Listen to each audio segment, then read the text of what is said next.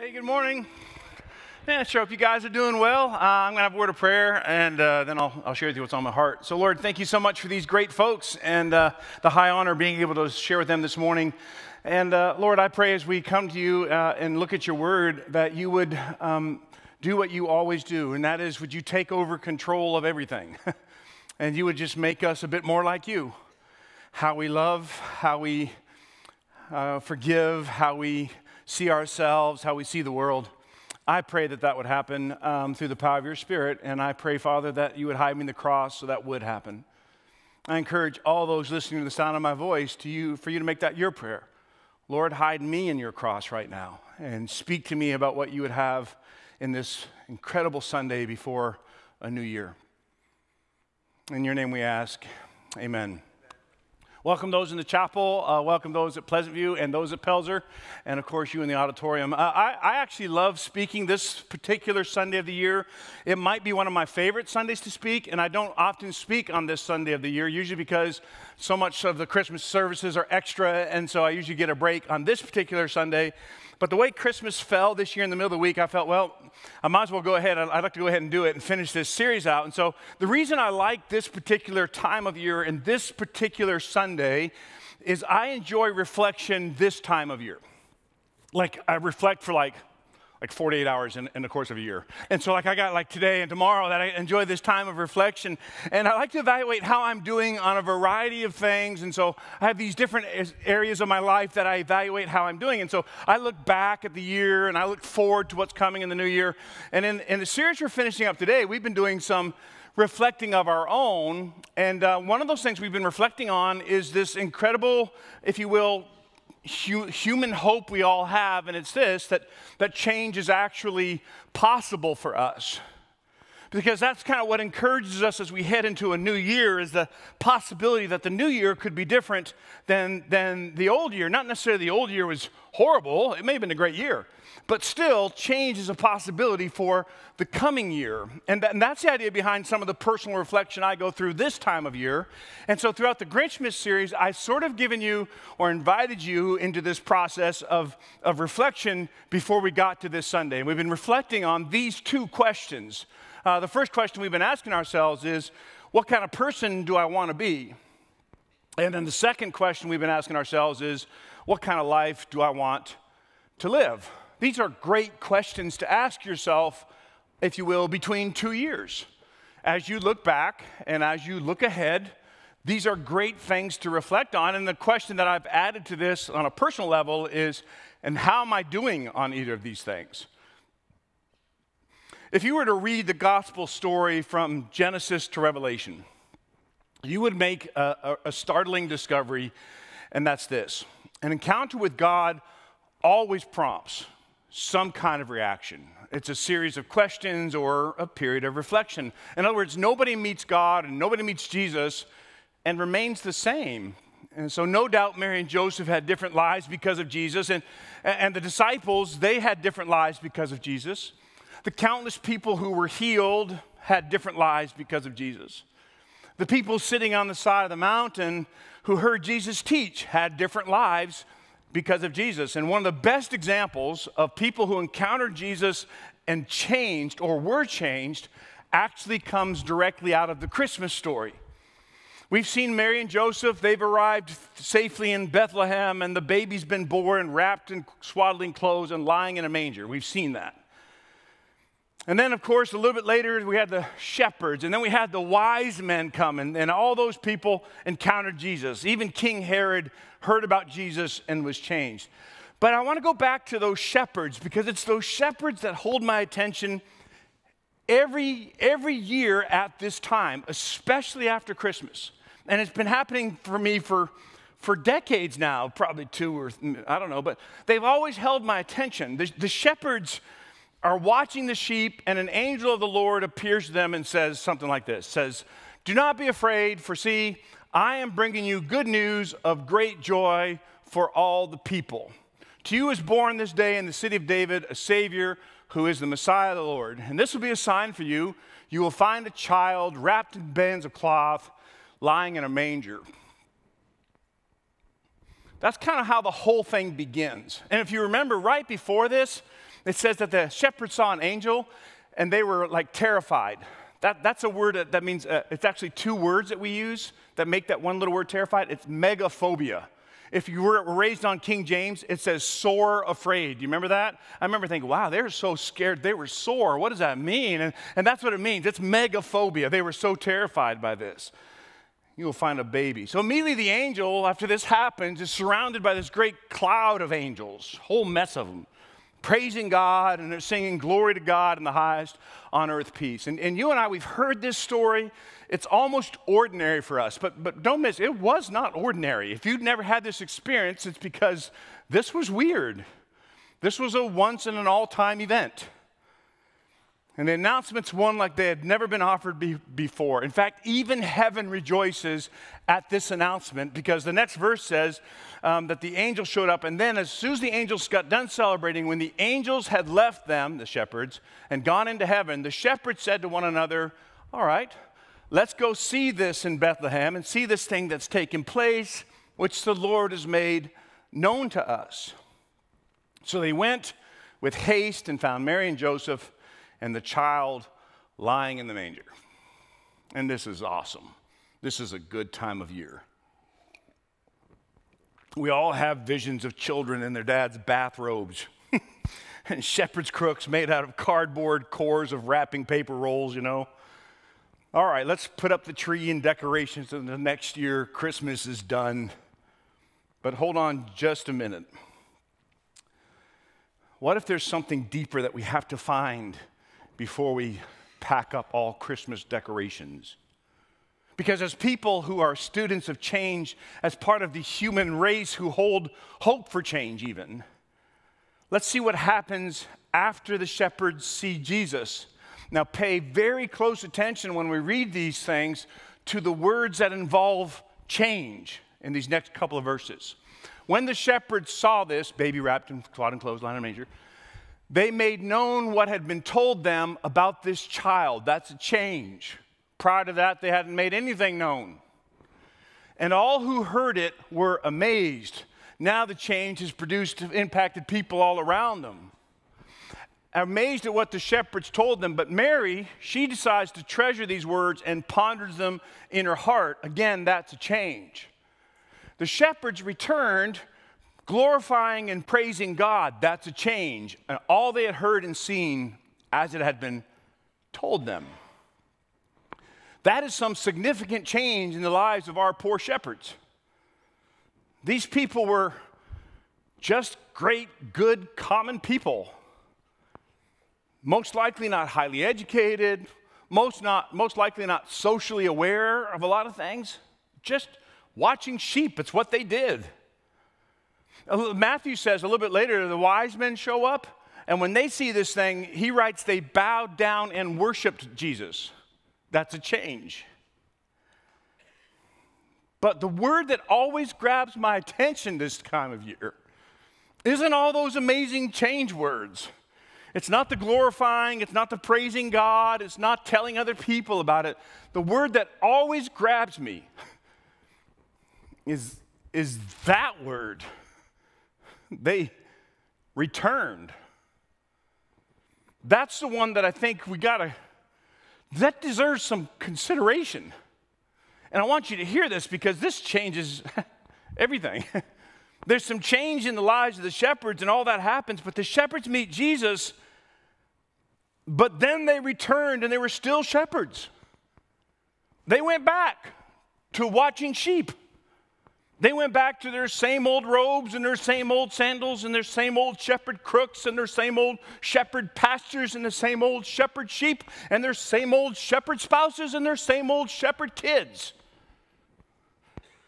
And as far as we know, they remained shepherds for the rest of their lives. Hear me. They didn't get rich quick. They didn't all of a sudden find a check in the mail.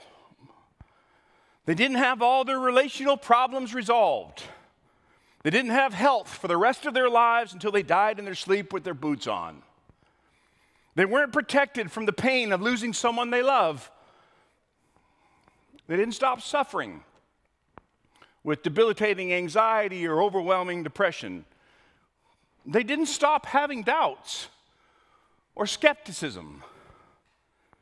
They weren't spontaneously healed.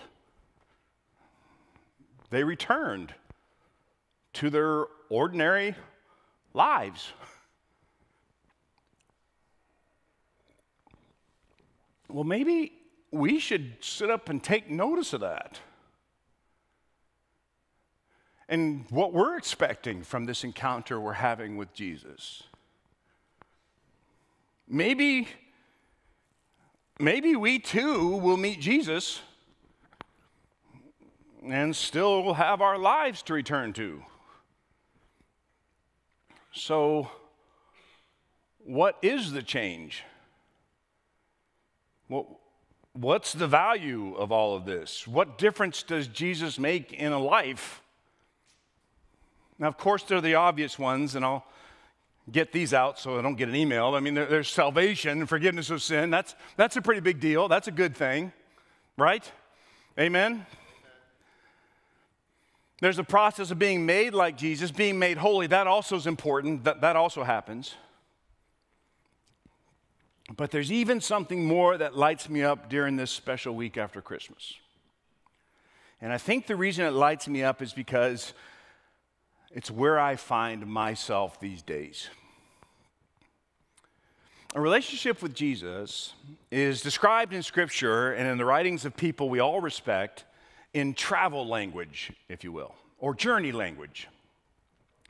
A disciple is one who lives at the feet of Jesus, growing and learning what it means to be like him. Another good word for that would be an apprentice or apprenticing under Jesus. It's one who sits at the feet of a master and takes everything in they can from that master in order to be like the master. Never arrive, but constantly changing and growing and learning and developing.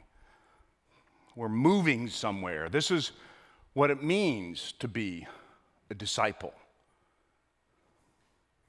You've also maybe heard the word pilgrim used to, before to describe a person that has faith in Jesus or faith in anything. Maybe you've read John Bunyan's Pilgrim's Progress. Pilgrim refers to the direction of an apprentice of Jesus. We spend our lives going somewhere, going to God, and the path for getting there is this relationship with Jesus. We say things like this This world is not my home, or maybe we say, you know, we're longing to be in our Father's house because we are people on a journey, we're pilgrims. Even Jesus said to Thomas, He said, I am the way. It's the exact same word for road, truth, and life. No one comes to the Father except through this road. But where are we going? And I'm not, not talking about heaven. I figure that's out there for us. But where are we going? Like the shepherds, what if we meet Jesus and then we return to our normal lives? What's the point? What's the change that's taking place that everybody talks about? Is this all about getting saved and punching our heaven ticket and then living like everybody else lives in the world? Because if it is, why do we need the church? Shoot, why do we need each other? And I'll go ahead and ask it in case you're thinking it. And Tom, why do we need you? These are all great questions that make me a little more uncomfortable than most of you in the room. Why, what's the point? Have you all ever heard of uh, Frederick Nietzsche? If you haven't ever heard of him, he invented uh, mustache wax, and so um, that's been an amazing uh, contribution to society. On top of that, he also was a German philosopher. Maybe you've heard the statements before um, that which doesn't kill us makes us stronger. He, he's attributed to that, to that statement. He also said this the essential thing in heaven and in earth is that there should be a long obedience in the same direction. There, thereby results and has always resulted in the long run something that has made life worth living. Now, I know we're like post Christmas kind of punchy right now, not to mention there was a significant game that took place last night.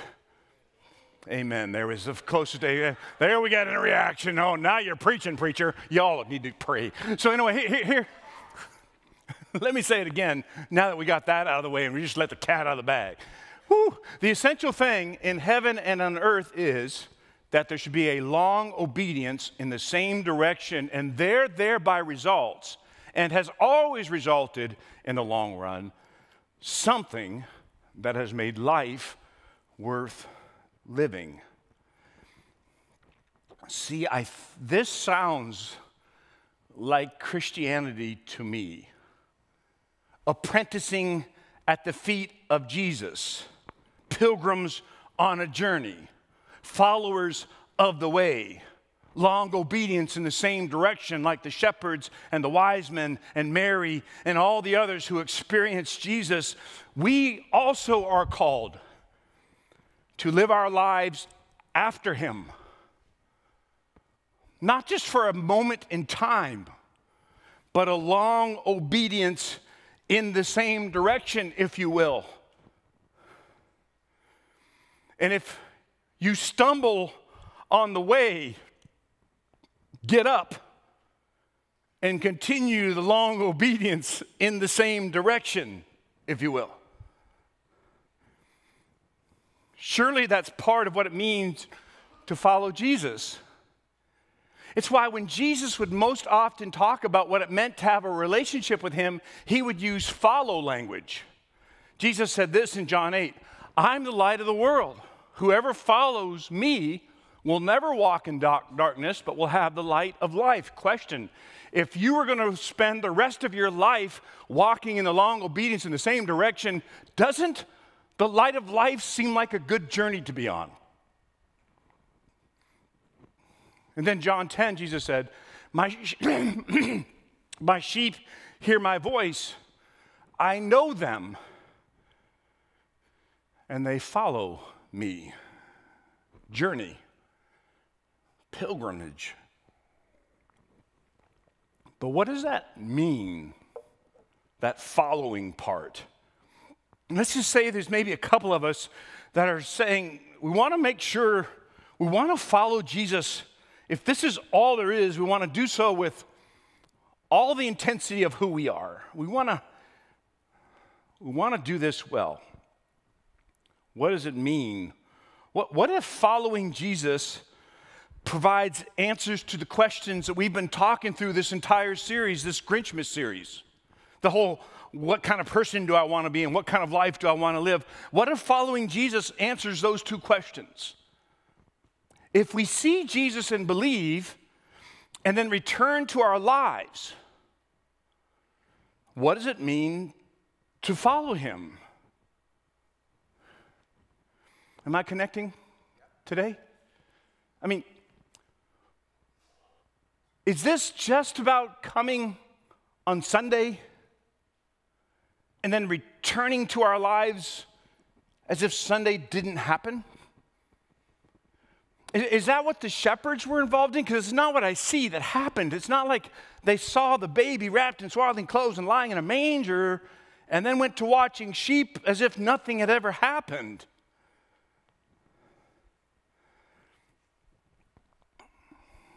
What does it mean to follow?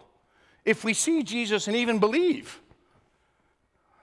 what happens during this long obedience in the same direction? This is Paul Tournier. He's a Swiss physician. He did some groundbreaking work in the area of pastoral care. He, um, he wrote a book called A Place for You, and as part of that, he described the human experience as, as being in between. It seems to me this is a good description of how we lead our lives. If you and I were to sit down and have coffee at your expense, and we really wanted to get to know each other, perhaps a good question to ask would be what's your in between like? And I know that would kind of creep everybody out, but here's what I mean by that. Because we always seem to be in between something. Uh, maybe between the time we leave home and arrive at our destination. Maybe the time we leave adolescence and arrive at adulthood, which I'm assuming is somewhere in my future. Between the time we change the world and get our training to change the world. Between the time we fall in love and the time we decide to do life together forever. Between the time we're unemployed and the time we get a job. Between the time we get angry and the time we are reconciled. Between the time we have doubts and the time we arrive at faith between the time we work and the time we retire. The whole thing is in between, between the time we're born and the time we're, we die. Merry Christmas. it's a pretty good description of a life, isn't it? We live in between. The in between is sort of like when a trapeze artist releases the bar and they're suspended in midair and waiting on the next bar, that's, that's the in between. It's a good metaphor for life. I think the shepherds and the wise men and Mary and Joseph and the alive community, Christians, I think we understand with full awareness the in between. Because it's the already of Christmas and the not yet of being with Jesus forever. We're in between. It's, it's the already, if you will, in theological language, of the first coming and the not yet of his second coming. And, and this in between time, Scripture offers this beautiful word to guide us as we're in between, as we're swinging from one trapeze bar to another, if you will, as we're in these periods of transition in all of our lives, this in between. The scripture offers this word that's been feeding me, directing me on my pilgrimage, if you will. As we return to shepherding, or counting, or building, or raising a family, or doctoring, or teaching, or retiring, as we return to our in between, the Bible says over and over and over again repent. Hmm. I, I, I, used to think repent meant that I would cry and be sorry for my sin. And that's a good thing. But it's really not what the word means. I think repent means a whole lot more than that. Repentance, if you will, isn't an emotion. It'll elicit an emotion sometimes. But repentance is actually a decision. And Jesus commanded us over and over again repent, for the kingdom of heaven is near. Repent, for the kingdom of God is at hand.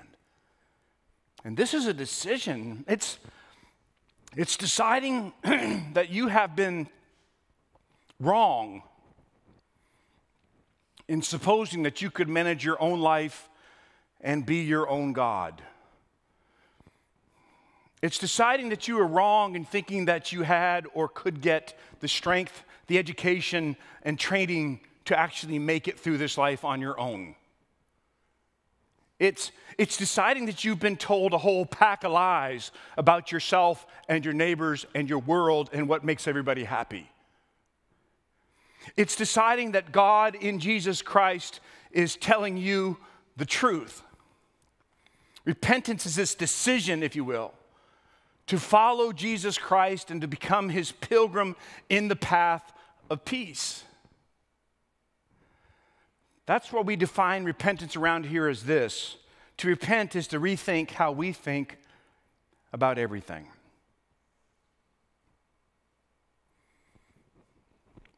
You want to mess your life up this year? this is a good place to start. Rethink how you think about everything. See, I'm coming to believe and to see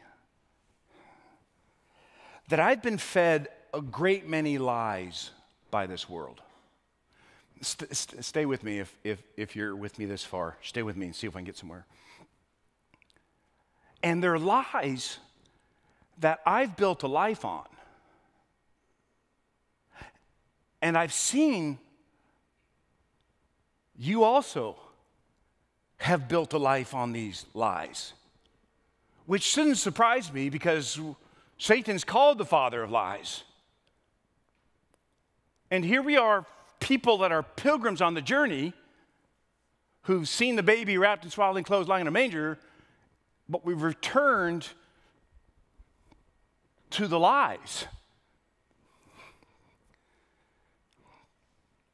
And these lies are so deeply intertwined with who I am and respectfully who you are that the lies now seem as normal and, and true. But we've been told a lie since the beginning. Uh, the, we've been told a lie, and, and so much so that you're going to kind of resist what I'm getting ready to say. We've been told a lie that human beings are basically good and nice, and we're not. Even in the South, we're not. Prove it to me. Okay, Facebook. Let's stand for closing prayer. we're not basically good and nice. We're basically selfish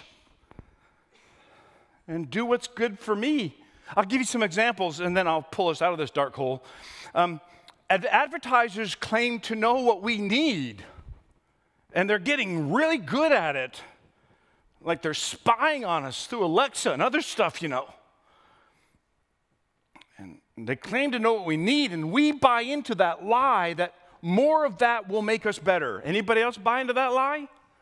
I have. How about this one? Have you ever noticed we give microphones to entertainers? Tom had a bad Christmas. what do they promise us? People dressed up in fancy makeup and fancy clothes. They promise there's a cheap way to joy, and we buy into that. That fame and fortune will be better than what we have here and it's a lie. Politicians, need I go on? Okay, I will. Politicians instruct us and govern us with power, get this, but the absence of morality, and we buy it. We're all buying it.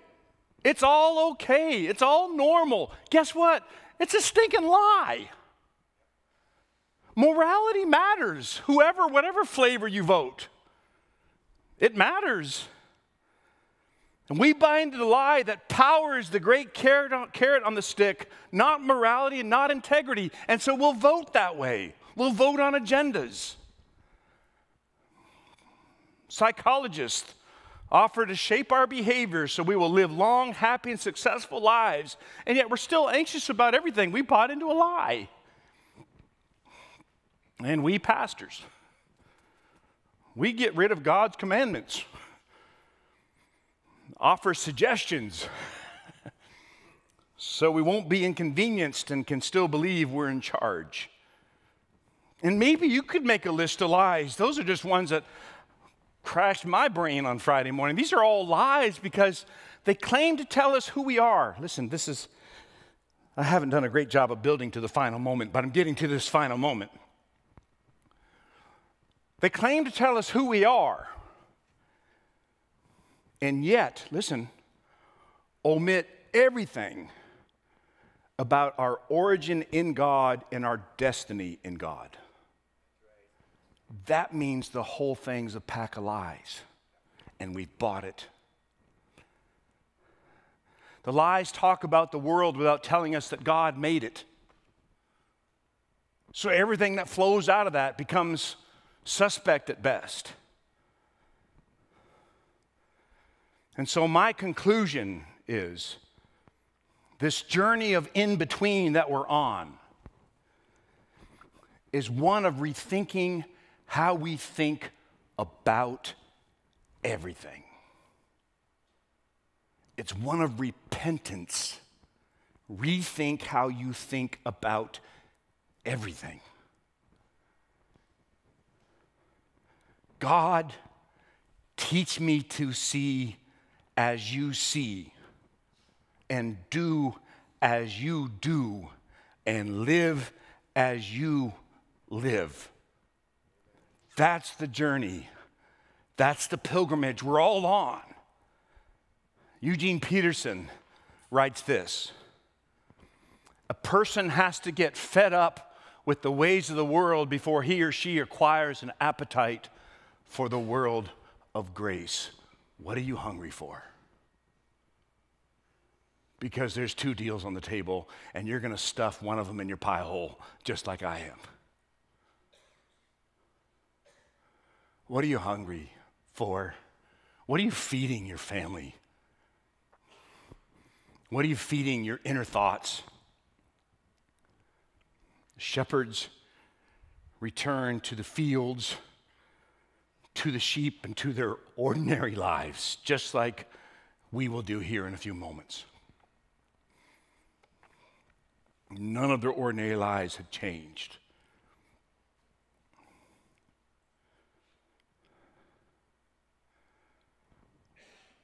But they had. Their eyes had been opened. They now saw clearly.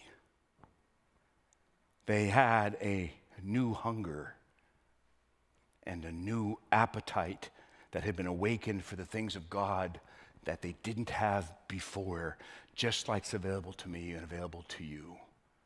They were extraordinary because now their life had meaning and purpose based on truth, not a lie. And they began this process that is part of the journey we're all on as we fly from one trapeze to the other of lies melting away and truth rushing in. So let me just leave you with some truth. The truth about me is that God loves me and made me. That's truth. The truth about you is that God loves you and made you, but we're all screw ups, Tom. It doesn't seem to matter. The truth about God is He still loves us. The truth about the one you're sitting beside is that God made them and loves them as well. The truth about the one you'll encounter as you go to lunch is that God made them and loves them as well. He doesn't love you more than them, or vice versa. The truth about the world is that God created it, He rules it, and He provides for it.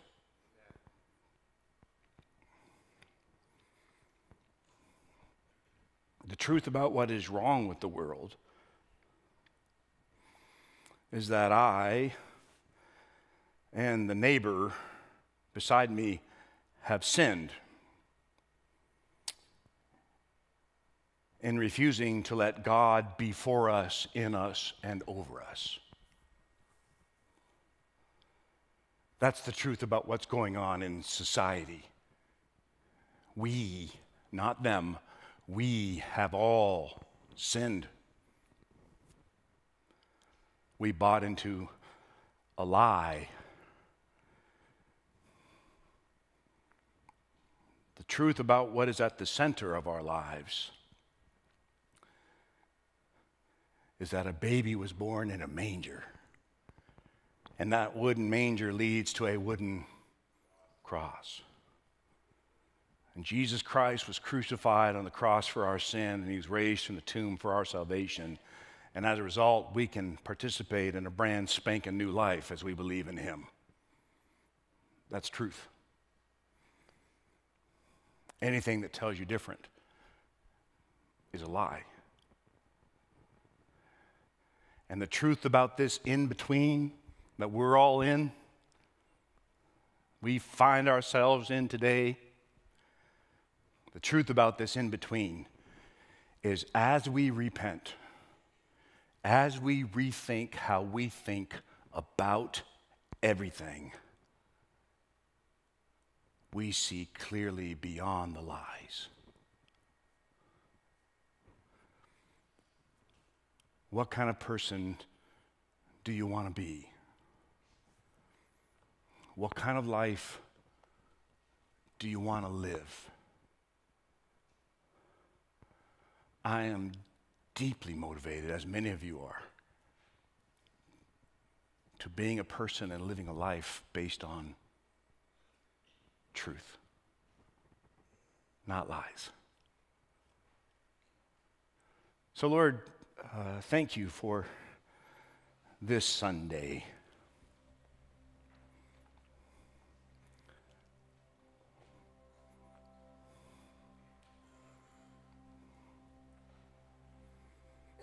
It's this beautiful moment when all the rush of the Christmas season is behind us. We're all in our starting blocks to begin the race of a new year.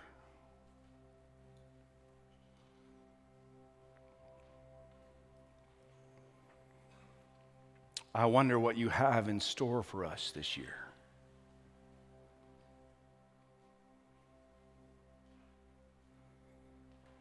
I wonder what opportunities and blessings are going to flow.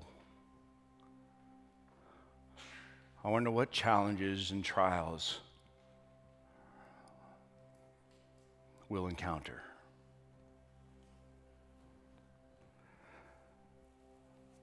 Lord, if there is any ability for a group of people to lift a prayer corporately and ask for a blessing on a community, and I believe there is, we pray for truth this year. We pray that lies would be rooted out of who we are, not just the external, but the internal. And we would be people of truth. We would live lives of truth. Be our guide in all of that, we ask. In your name, amen.